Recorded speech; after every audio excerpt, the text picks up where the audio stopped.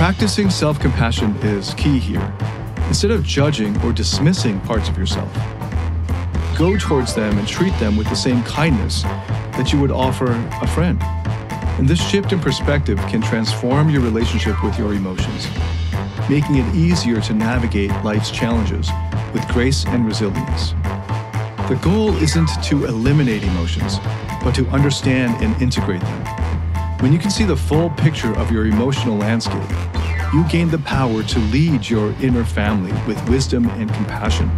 Welcome to the Masculine Psychology Podcast, where we answer key questions in relationships, attraction, success, and fulfillment. Now, here's your host, world renowned therapist and life coach, David Tian.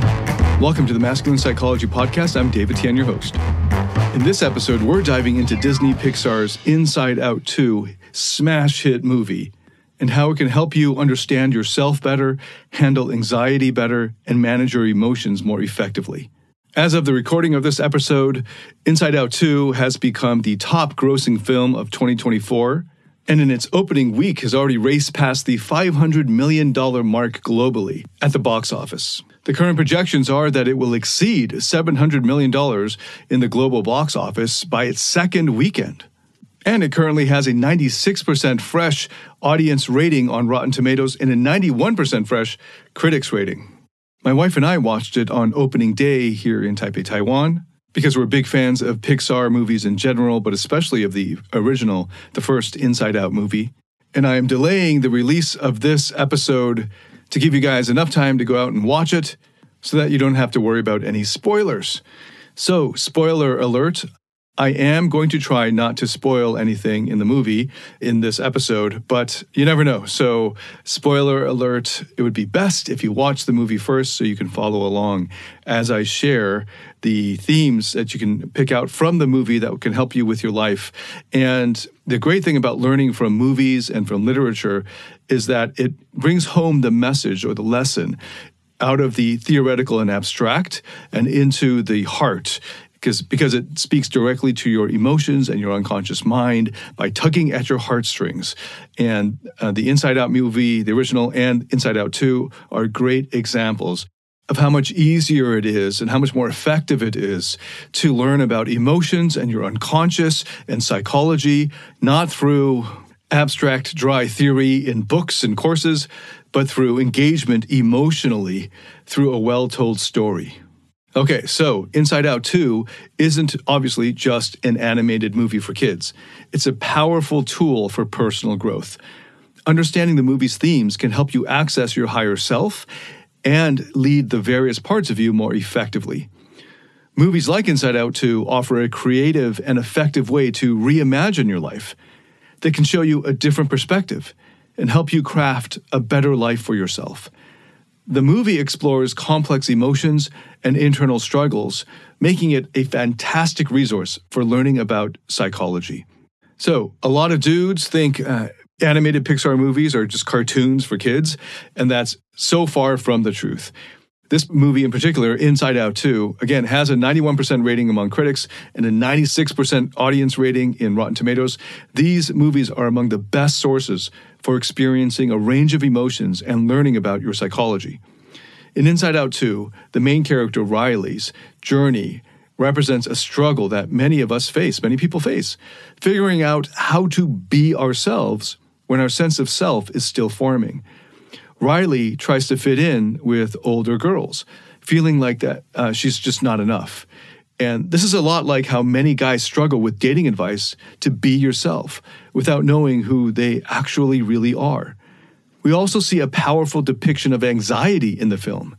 Anxiety prevents restful sleep and uses your imagination against you, fabricating all sorts of future scenarios to worry about. The movie shows how anxiety can dominate our minds and disrupt our lives. Okay, so I've got five points here. Let's dive into the first, which is exploring this challenge of being yourself. So, the main character, Riley, her journey in Inside Out 2 perfectly captures this struggle. She transitions from a prepubescent sense of self to a new developing identity. This change isn't smooth and it's not clear cut. She seeks approval from the older girls, trying to fit in, and ending up overcompensating for feeling inadequate. And this mirrors the struggle that many men face when trying to be themselves. Often, guys receive the advice to be yourself in dating and in social situations. But what does this actually mean? For many men, the sense of self is still developing or is based on external validation. This is just as true for women. And this can lead to a lot of confusion and frustration. It's hard to be authentic when you don't know who you are at your core, or if your current self feels awkward or shy. In the movie Inside Out 2, Riley's quest for identity highlights this crucial point that self identity is a journey, it's a process. It evolves and changes, especially during significant transitions in life. For men, this could be adolescence, or starting a new career, or entering a new relationship. Each of these stages can bring new challenges and new opportunities for self discovery. So the movie shows Riley grappling with her changing identity. She tries to fit in, she tries to mimic the older girls, and she tries to find her place. This external validation quest is something that a lot of guys can relate to. We often look to others for approval, trying to fit into society or our peer group's expectations. But this can lead to losing touch with our true selves. Okay, so real life application time. How does this play out for men? Imagine a guy who's awkward and shy, trying to date or make new friends. He hears the advice to be yourself, but his current self is insecure and unsure. He might adopt behaviors he, that he thinks others would expect, and he masks his true self. And this can lead to inauthentic relationships and increased anxiety. So the key here is self discovery.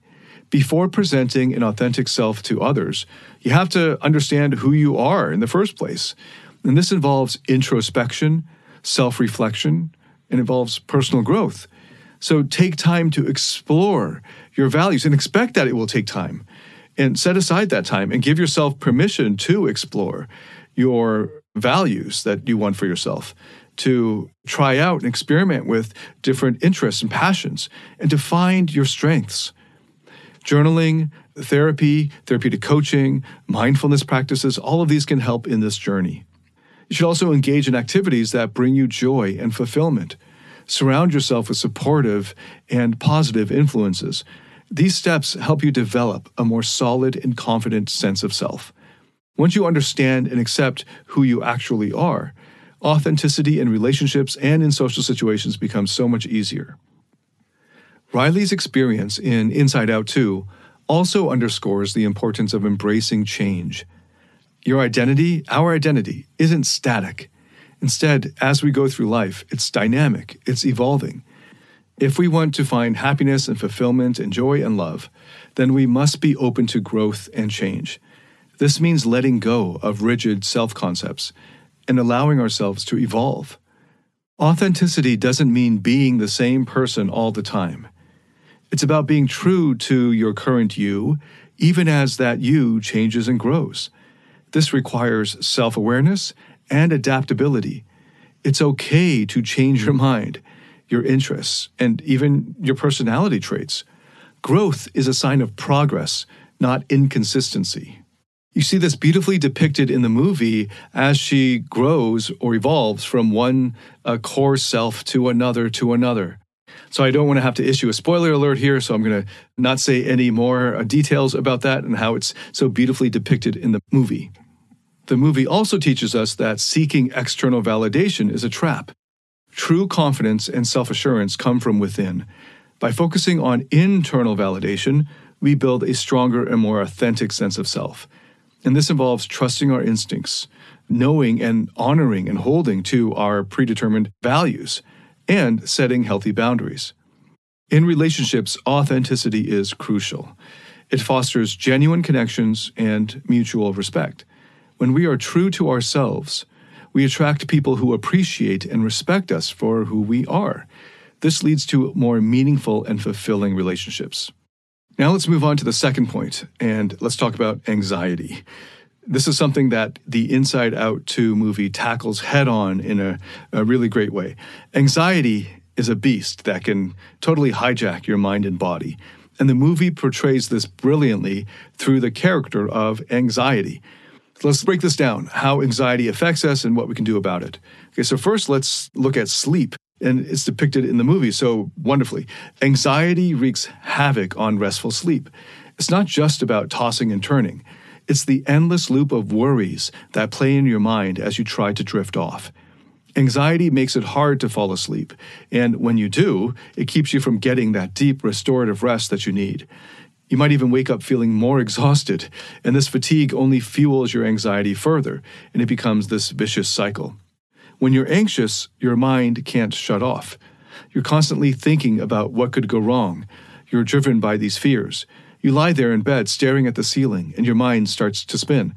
What if I mess up that presentation tomorrow? Or what if she doesn't text back? Or what if I'm just not good enough? And these thoughts loop endlessly, preventing you from relaxing and drifting into a peaceful sleep. In the movie Inside Out 2, this is depicted through the character of anxiety, who imagines all sorts of worst case scenarios. And this brings us to our next point the connection between anxiety and imagination, also brilliantly depicted in the movie. Anxiety hijacks your imagination, turning it against you. Instead of using your creativity for positive projection or visualization, anxiety makes you obsess over potential disasters, which in CBT therapy is called catastrophizing or overgeneralization. Your mind starts to create these elaborate scenarios where everything goes wrong, even if there's just a, a tiny, tiny chance of that. And this can range from minor worries like missing a deadline to catastrophic fears like losing your job or ruining a relationship or dying. These scenarios feel so real when you're imagining them that your body reacts as if they are actually happening, pumping your body full of the cortisol and other stress hormones. Your heart races, your muscles tense up, and you can't focus on anything else when actually all of this is just happening inside your brain. Nothing in the external world is actually changing. Managing anxiety starts with recognizing its tricks. One effective strategy is uh, practicing mindfulness. Mindfulness helps you stay present and grounded in the present moment. When you catch your mind drifting into anxious thoughts, you can gently bring it back to the present. Focusing on your breathing, noticing the sensations in your body, and observing your surroundings without judgment. Another effective strategy is mantra meditation that trains you to float above your thoughts whirling around and to observe them, but not be caught up in them. Another amazing tool is what I cover in my emotional mastery program, which is a combination of mindfulness and cognitive behavioral therapy, as well as DBT, IFS, and various other evidence based psychotherapeutic approaches. In the emotional mastery program, we're balancing acceptance and change. The methods in the emotional mastery program help to regulate your body's response to anxiety, for instance, uh, splashing cold water on your face can trigger the dive reflex, thereby slowing your heart rate and calming you down. Intense exercise is another great way to burn off anxious energy. When you're feeling overwhelmed, a quick workout can help. It doesn't even have to be long. Even just a few minutes of jumping jacks or a brisk walk can make a big difference. Exercise releases endorphins, which are natural mood lifters. Paced breathing and progressive muscle relaxation can also really help, and I cover this in the Emotional Mastery Program as well. Slow, deep breaths signal to your brain and body that you're safe, reducing the flight or fight response. Progressive muscle relaxation involves tensing and then slowly releasing each muscle group, which helps to alleviate tension and promote relaxation. Lifestyle changes can also make a big impact, and I cover this in my course, Lifestyle Mastery. Regular exercise, a balanced diet, and a consistent sleep schedule can all contribute to reducing anxiety. Avoiding caffeine and alcohol, especially in the evenings, can help improve your sleep quality. And creating a bedtime routine that promotes relaxation, like reading a fiction book or taking a warm bath, can also signal to your body that it's time to wind down. In Inside Out 2, we see how Riley's mind is overwhelmed by these anxious thoughts, but we also see moments of calm and clarity. These moments are possible for all of us. By using these strategies, you can take back control from anxiety and create a more balanced, peaceful state of mind. Matter their physical strength, for many men, emotions are too much for them to handle. It's why they can't give women the deeper levels of emotional intimacy and connection that they crave. It's why they fail to be the man that modern women desire most a man with inner strength, a man who has mastered his emotions. Find out how to master your emotions through David Tian's Emotional Mastery Program. The Emotional Mastery Program is a step by step system that integrates the best of empirically verified psychotherapy methods and reveals how to master your internal state and develop the inner strength that makes you naturally attractive, happy, and fulfilled. Learn more about this transformational program by going to davidtianphd.com slash emotional mastery. That's D-A-V-I-D T-I-A-N P-H-D.com slash emotional mastery. Now let's get to the third point, which is all about the complexity of emotions and especially of the various parts of us. And how this ties into the IFS or internal family systems therapy model, which is an evidence based psychotherapeutic model that I think is just the best overall approach. This isn't just about understanding our feelings, it's about seeing how these emotions shape who we are and how we can navigate our inner world more effectively. In Inside Out 2, the characters break the mold of their original emotional roles that were in original or the first Inside Out movie. For example, Joy isn't just the bubbly cheerleader. She experiences sadness and fear. And this shift is a powerful reminder that our parts aren't just one dimensional emotions. The character Joy's moments of fear and sadness show us that even the brightest parts of us have layers. And this complexity is something that we often overlook, especially when we think of emotions in black and white terms or our parts as only the emotions that they're feeling. Similarly, sadness, the character sadness in the movie, isn't just the downer. She demonstrates courage, stepping up in ways that defy her simplistic or the, even the usual portrayal in the original movie. This mix of emotions, like joy feeling fear, sadness showing courage, anger showing levity, they depict a more accurate representation of our parts, challenging the simplistic view that our parts are simply defined by a single emotion. And this is a, a really nice evolution in the story or the character world in Inside Out, and a testament to the rich, multifaceted nature of our inner world. And this level of complexity is central to IFS therapy. Internal family systems therapy views our mind as made up of various parts of us, each with its own distinct personality, desires, and memories. These parts interact with each other, sometimes in harmony, but sometimes in conflict. You can imagine your mind as a family with each member having a voice and a role to play. Take a moment now to think about how you experience emotions. You might have an angry part that surfaces when you feel threatened. But that part also has underlying fears and needs. In IFS therapy, it's not just about the emotion, it's about understanding the entire system of parts that make up who you are. This approach can help you see beyond the surface of your emotions and understand the deeper drives and needs behind them. Okay, let's break this down with some examples. Imagine you're feeling anxious before a big presentation. In IFS terms, you might have a part that's terrified of failure. You might have another part that's trying to control every detail. And maybe you've got a part that's trying to hide or avoid the situation altogether.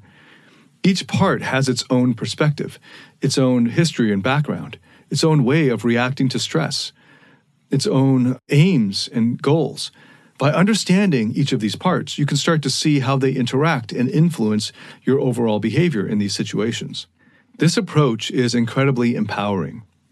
It allows you to acknowledge and validate all parts of yourself rather than shutting down or fighting against certain emotions. For example, instead of pushing away your fear, you can invite it in, listen to what it has to say, and find ways to soothe and reassure it. This not only reduces the intensity of the emotion, but also fosters a deeper sense of self awareness and compassion. In Inside Out 2, we see this play out in real time in the movie. The characters' interactions show us that emotions aren't isolated incidents, but part of a larger interconnected system. When joy and sadness work together, they create a more balanced and nuanced experience. And this mirrors the IFS concept that when we embrace and integrate our parts, we achieve greater harmony and resilience. So, how can you apply this to your life now? You can start by paying attention to the different parts of yourself When you feel a strong emotion, take a moment to ask, Whoa, what part of me is feeling this? You might discover that beneath your anger is a part that feels scared or unheard. Or underneath your sadness, there might be a part that feels deeply disappointed or abandoned. By identifying these parts, you create a space for them to be heard and understood, and as a result, they will begin to shift. Practicing self compassion is key here. Instead of judging or dismissing parts of yourself, go towards them and treat them with the same kindness that you would offer a friend. And this shift in perspective can transform your relationship with your emotions, making it easier to navigate life's challenges with grace and resilience. The goal isn't to eliminate emotions, but to understand and integrate them. When you can see the full picture of your emotional landscape, you gain the power to lead your inner family with wisdom and compassion. This isn't just about managing emotions, it's about embracing the full spectrum of your humanity. Okay, now let's get to the fourth point. And this is about something everyone goes through, but nobody really talks about developing a new sense of self. Whether it's during adolescence, or starting a new career, or entering a new relationship, all of these transitions can be tough, but they're also opportunities for growth.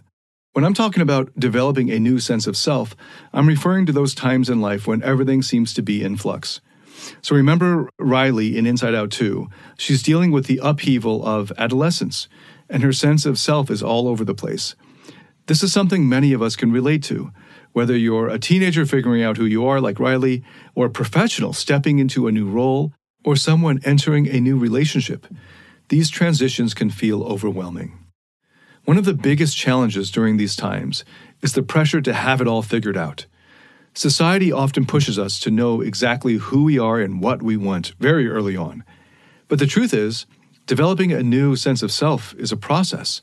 It takes time, and that's good. It's okay to take your time. It's crucial to have patience and self compassion during these periods of change. We can't rush the process of becoming who we are meant to be as we evolve through the various stages and phases of life. Okay, so how can we support this developmental process in ourselves? Let's break this down with some practical advice.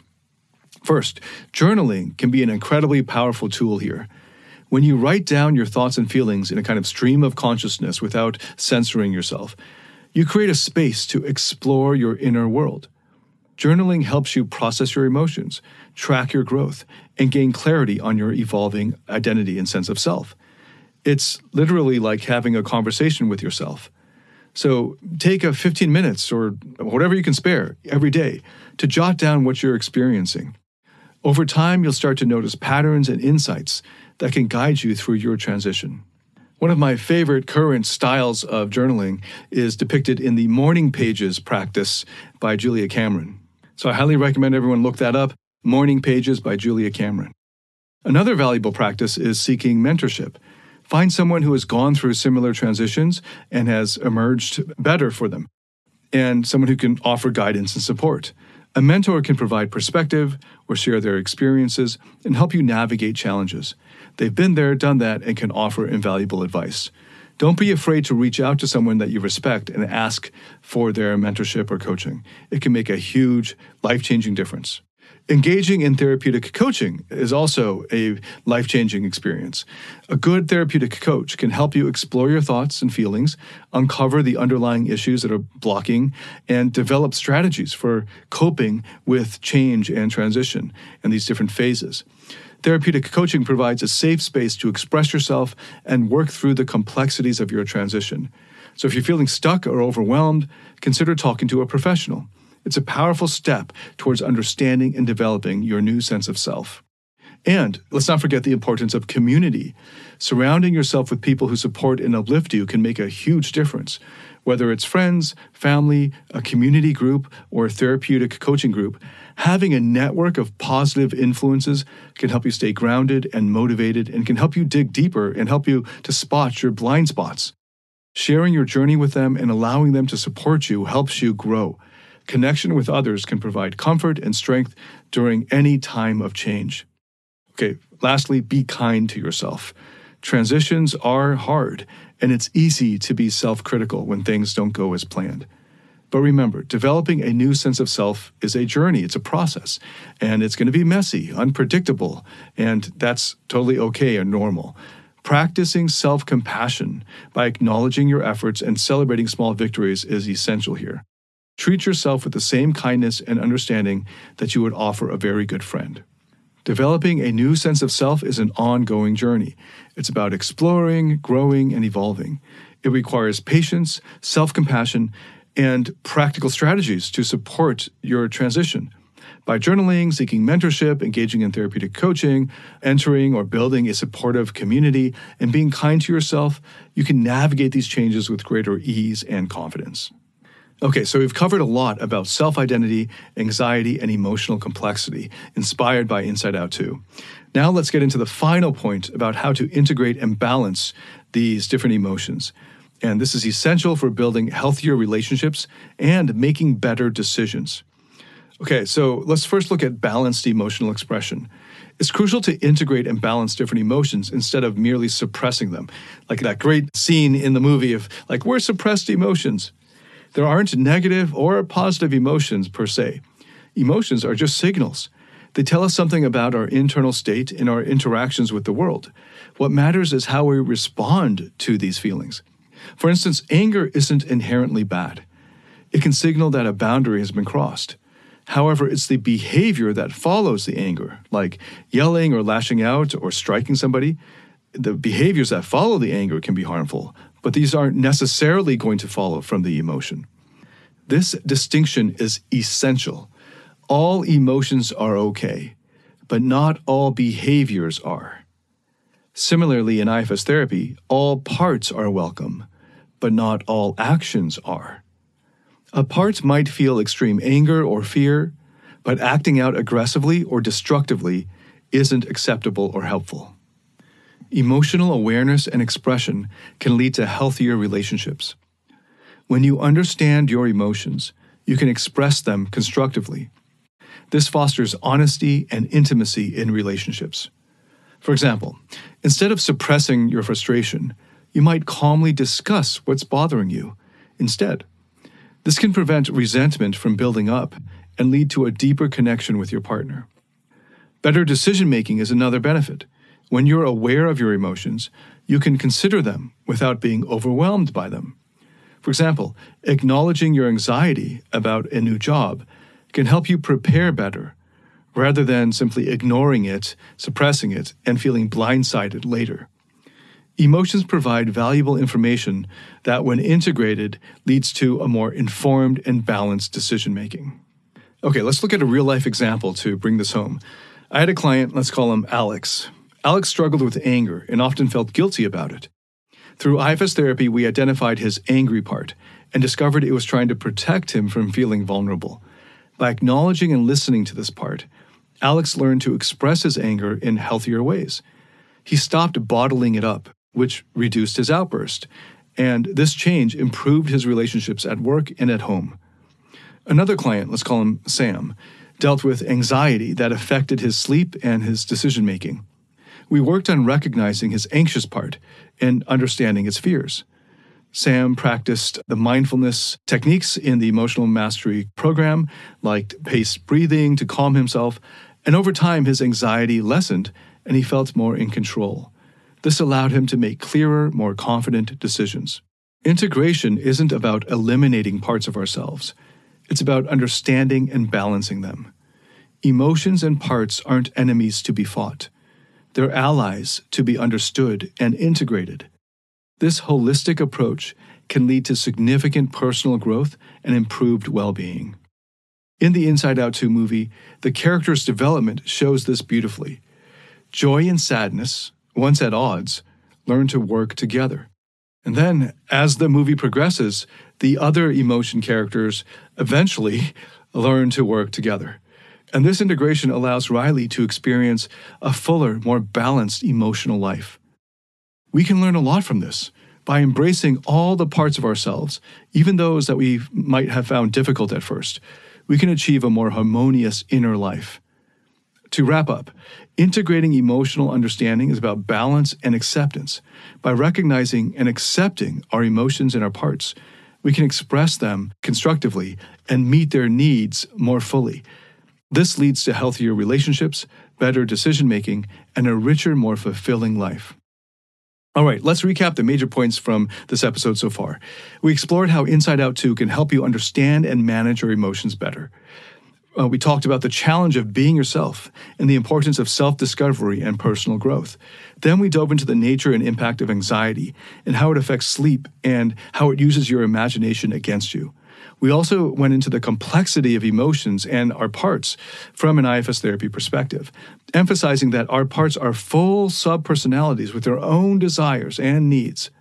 Finally, we covered the development of a new sense of self and the importance of integrating emotional understanding for healthier relationships and better decision making. Thank you so much for listening. If this has helped you in any way, please share it with anyone else that you think could benefit from it. Thanks again, and I look forward to welcoming you to the next episode. Until then, David Tian signing out.